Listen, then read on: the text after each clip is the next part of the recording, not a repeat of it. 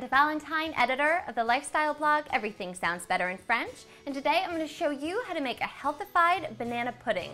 Now this is a made-over version of that original favorite recipe and has 32% less calories than the original, so your tummy will thank you. I have our ingredients all laid out here. Let's get started.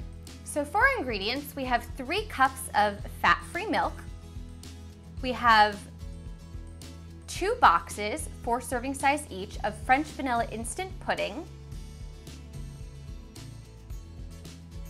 We have four containers, six ounces each, of Yoplait Original 99% fat-free banana cream or French vanilla yogurt. Today we're using French vanilla.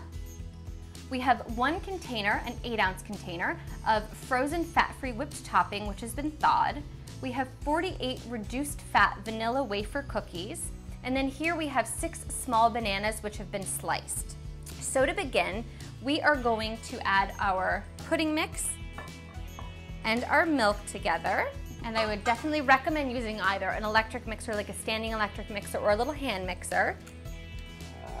And you wanna mix this together. Then we're gonna add in our yogurt. I just wanna make sure I don't have any lumps, so I'm just gonna kick up my, my speed a little bit.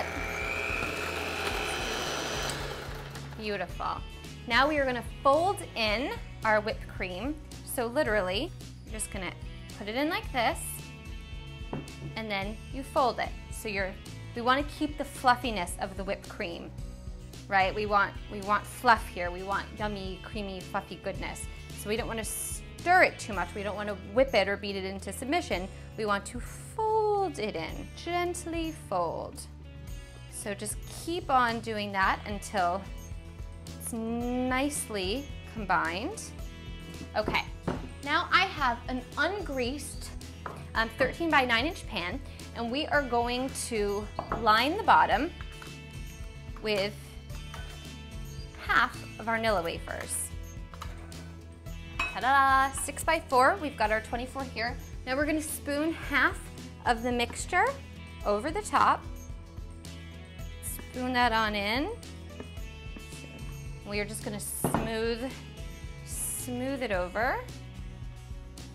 Beautiful, and you wanna be gentle because you do have those wafers under there. You don't want them to move around too much. Okay, now it's time for our bananas. So we're gonna arrange all of our bananas here on this next layer. This is a banana-rific layer. So just get these all down. Okay, so our bananas are all beautifully laid out. Look at this. So next step is to put the rest of this pudding mixture over the top.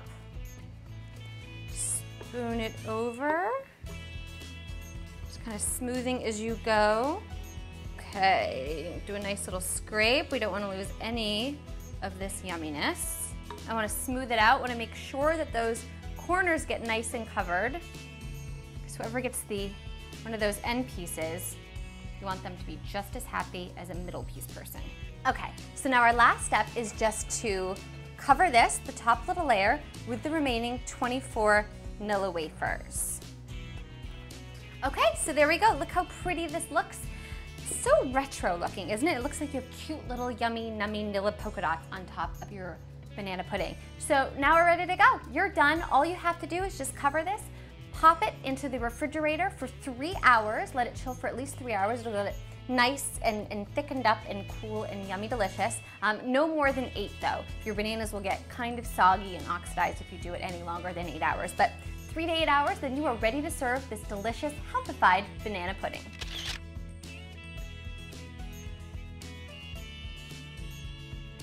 Thanks for watching. Make sure to subscribe. And if there's something that you want to learn how to make, send me an email at requests at mahalo.com. And don't forget to check out our other great videos.